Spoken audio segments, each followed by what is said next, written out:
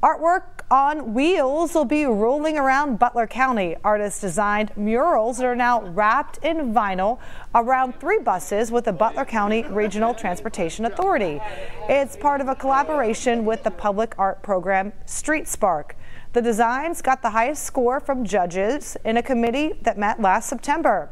One bus features the black businessman Garrett Morgan, who invented the traffic light. Another has a bright orange, simple design of the Hamilton cityscape, and the third was inspired by the city's sculptures. And I think as artists, I mean, we have an obligation to give back. I think anybody with any gift, but artists especially, you know, we're, we're creatives, and I think the gifts that God has given us are to be utilized to, to make people smile. The other artists were Amy Deal and Evan Verilli. The Transportation Authority says it brings more attention to public transit in Butler County.